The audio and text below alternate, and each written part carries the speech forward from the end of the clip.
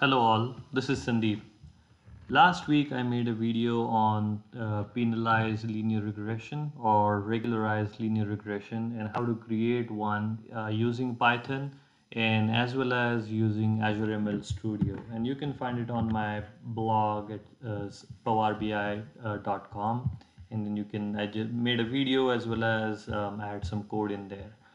Um, today what I wanted to do was uh, make a quick video on getting more um, a more intuitive understanding as to why uh, regularization works and how it works.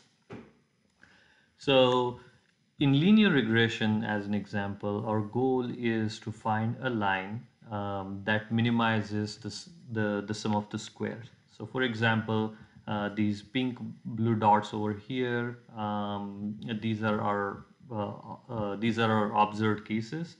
And we want to find or fit a line that can predict these uh, points. And the way we do that is calculate this, the errors um, and errors in this case would be just the vertical distance between a line um, and the, the observed point and then we square them and you can think of them as these little squares and this is exactly what we are doing. So we are calculating these squares for each of these observations and then we want to find a line that will minimize some of these all these squares. And when we say we want to uh, uh, get a, a linear uh, model or a linear regression model is essentially we are calculating these weights. So you can think of linear regression as weighted sum of all the features.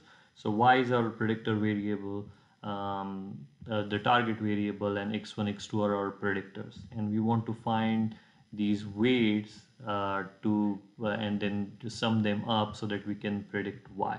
So, so again, all we are doing is find the minimizing the sum of these squares and find these weights. Now linear regression is good but and again why, why it's called linear regression is because of this additive factor. We are adding all these uh, predictor variables together uh, to uh, predict our target variable. It is not because uh, we don't have any power term with x or you know anything else. We, it could very well be you know w1 times sine of x uh, or tan of x and it will still uh, work the same way so the reason why um, linear regression is a problem is a couple of things. First, in linear regression, we assume that um, all our uh, predictor variables or features are uncorrelated with each other. If they are correlated with each other, um, then what happens is these factors or these weights, uh, W1, W2, or on this slide I'm calling them as B, um, but these become inflated. Um, they become very uh, large. Um, and uh, if as the model complexity increases so as I show over here we could create a more complex model uh, to to fit our data. So in this example we have y is equal to b naught plus b1 times x1 plus b2 times x1 square so clearly there is a quadratic relationship here and we can capture that by using the linear regression but using higher polynomial uh, term. So we are just um, getting the square of the x1 term um, here, x1 term over here and again this is not a uh, uh, this is still linear regression because we are adding all the terms together. As we start adding these uh, polynomial terms as you can see over here if this was our linear fit over here then this red line this wiggly red line is our polynomial fit. And as we start increasing the order order of our polynomial the model becomes more complex.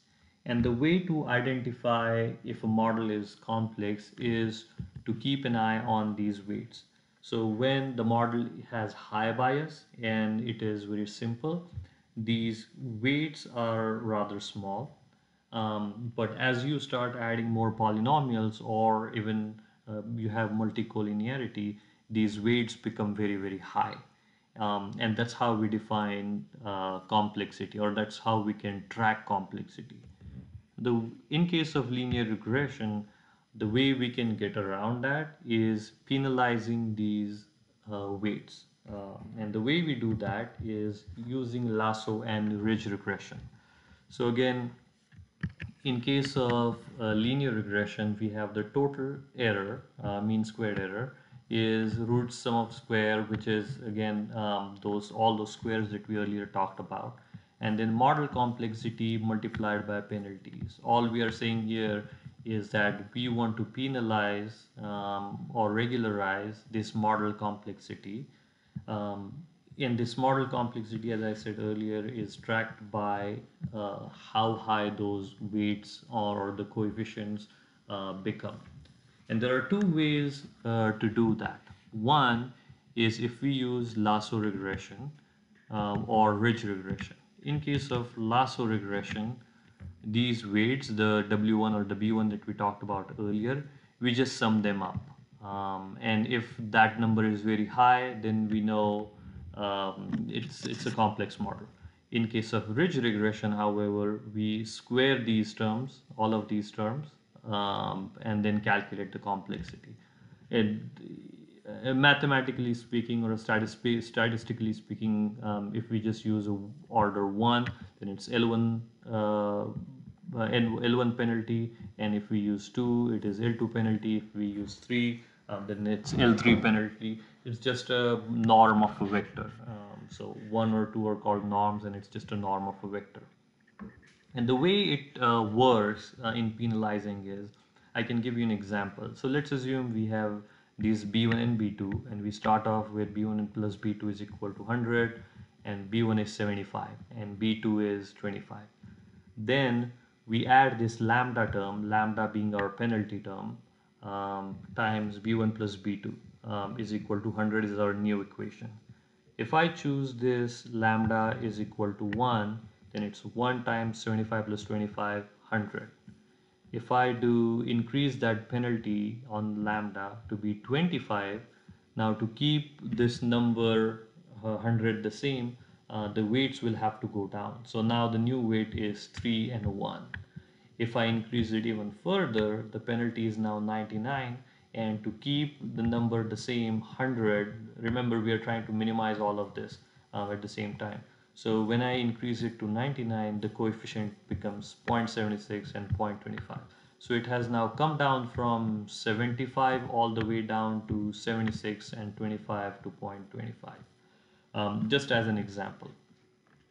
So that's what we essentially we are trying to do by increasing these by assigning a lambda value um, to these penalty uh, uh, to these um, weights we are trying to reduce uh, the uh, reduce uh, these model uh, by this model complexity so as the lambda value um, when the lambda value is zero uh, then if we come back over here if the lambda value is zero then this whole term goes away and then we just have RSS. And RSS is are just um, a good old old uh, linear linear regression uh, or least squares regression. Um, so there's just you know our linear regression. There is nothing to it.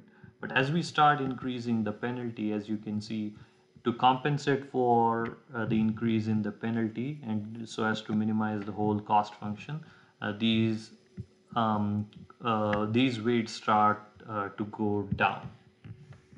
Now we can look at this visually we can look at this um, over here. So we have uh, let me zoom in here so we have b1 plus b2 um, and if we plot b1 plus b2 we get this kite uh, or diamond shape. And this diamond shape is called an error surface. So if I go to Google for example and just say plot x plus y this is in 3D but if we look down because z is 0 you'll say you'll see we get um, the diamond so this is our uh, error surface. So this diamond is nothing but this x plus y that we have over here. So on and we are considering only two dimensions. So we have b1 so feature 1 has a weight of b, uh, beta 1 feature 2 has beta 2 and this is um, these vertices these are this is nothing but the 100 that we talked about earlier. This beta is our um, lasso, or rather the OLS, just the linear uh, uh, or. Uh, uh, it's just the weighted uh, coefficient from the linear regression that we have. Now, as we start adding the penalty, um, we saw that the beta values or these weights start going down. And it keeps on increasing, keeps on increasing, increasing, increasing until this constraint surface or the error surface or the error envelope as they call it, it approaches that and it touches um, these, these vertices. Again remember this has to be 100 so it can only be 100 if it either touches this point over here or it touches this point over here. And now what happens when it touches over here? Beta 2 is 100 and beta 1 becomes 0 at this point or if it increases in such a way that it touches this vertex first then beta 1 is 0 and beta 2 um, uh, beta 1 is 100 and beta 2 uh, is 0. Uh, so that's how this works. And what happens uh, when we are doing all of this is, um, as you can see, um, RSS is again our linear uh, regression, error from the linear regression. We are adding some penalty and we are adding more to the weight. So if we consider it in terms of bias variance trade-off, as we add the penalty, our bias starts, um, bias increases. And but at the same time, our model complexity um, starts to uh, go down. So model complexity is now uh, going down, um, and which means our variance is uh, decreasing. And then after a certain point, uh, we don't get anything more out of it. Um, so the whole point of doing this is uh, to increase the bias um, and then reduce uh, the variance um, as much as we can. Uh, then oh, what happens in case of ridge regression? For ridge regression, we are using the L2 penalty. Uh, again, if we go back to our plot over here um, and then do x square and over here do y square this is nothing but an equation of a circle so this is in 3d that's why you see it like this but if you look down you'll see a circle um, so our error surface in case of ridge regression is uh, ridge regression is a circle. Now we discussed the scenario when our uh, we start penalizing these weights. So as it increases now again we are looking for this um, uh, this error surface over here right? So as it increases it does not actually it may touch this vertex but it is highly likely that it will touch this surface first the somewhere over here or here. And in that case the beta 1 and beta 2 um, are non-zero. So it goes down from you know it was somewhere over here um, and then it has shrunk. So that's why it's called a shrinking uh, mechanism. Uh, it has shrunk down from you know somewhere over here to all the way down to this value over here. Um, so in case of ridge regression, we don't necessarily go all the way down to zero. It can go down to zero if we, if this contour surface expands in a way that it touches over here but it's more likely that it will touch uh, you know any anywhere else other than these four points if it does at those four points then the other uh, weight will go down to zero um, or shrink to zero so the benefit of um, using lasso regression is in case of lasso regression the, coef the coefficients of some of these um, uh, predictor terms they go uh, shrink to zero. So it, it can, that can be used for feature selection purposes. Whereas in case of ridge regression, they shrink signif shrink down significantly, but they don't necessarily go down all the way to zero. They may, but they will likely uh, just shrink uh, down uh, by quite a bit.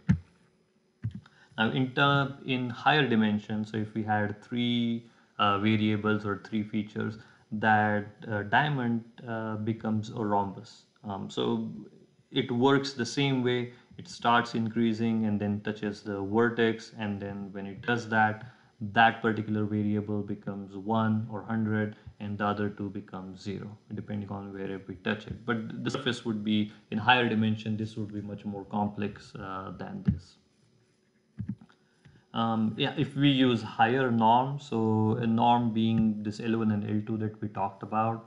Um, so if we used higher norm, uh, Q raised to 4, so if we go here and then change it to 4, the this error surface starts becoming more funky. Um, yeah, it's possible, but then it does not work. We don't get much by using higher norms there are methods that use higher norms, Qth order norms, but um, that's very uh, that's not very common.